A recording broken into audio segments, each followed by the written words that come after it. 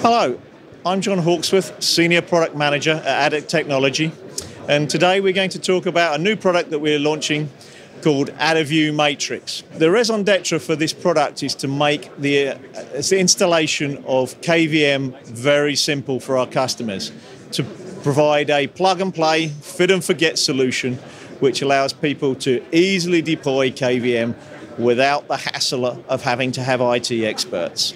It really is a simple, des- uh, simple design to make sure that anybody can deploy and use KVM.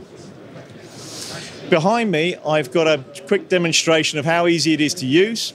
By literally using a hotkey command, I can bring up a screen and then change to a different computer.